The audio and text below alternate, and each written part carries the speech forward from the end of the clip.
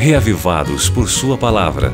O comentário que oferece a você uma síntese do capítulo de leitura da Bíblia para este dia. Apresentação: Pastor Valdeci Júnior.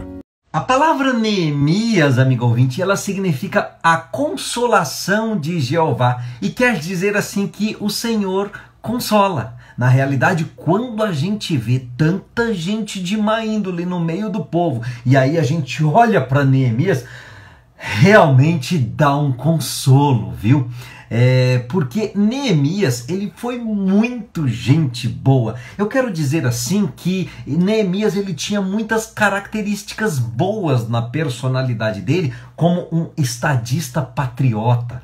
O patriotismo de Neemias você já pode ver de cara nos primeiros capítulos do livro de Neemias, mas tem mais qualidades que podem ser vistas na leitura de hoje aqui do Reavivados que é o capítulo 5 do livro bíblico da história de Neemias. Aqui em Neemias 5, meu querido amigo ouvinte, é, você tem aqui na primeira parte do capítulo é, uma triste descrição aqui da exploração que estava acontecendo para cima dos pobres. E aí, nessa descrição, você tem a reação de Neemias quando ele ficou sabendo que os pobres estavam sendo explorados. Ele partiu para cima com tudo em defesa dos pobres, mas com uma sabedoria que, no final das contas, ficou bom tanto para os pobres quanto para aqueles que, primeiramente, estavam explorando os pobres. A gente deve fazer como Neemias fez, sabia? Defender os pobres com sabedoria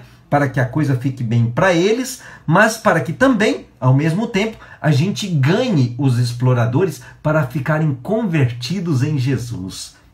Como é que a gente pode fazer isso? Veja como foi que Neemias fez fazendo a sua leitura bíblica de hoje, aqui em Neemias capítulo 5, tá certo? Então, leia Neemias 5. Um abraço para você e até amanhã, se Deus quiser.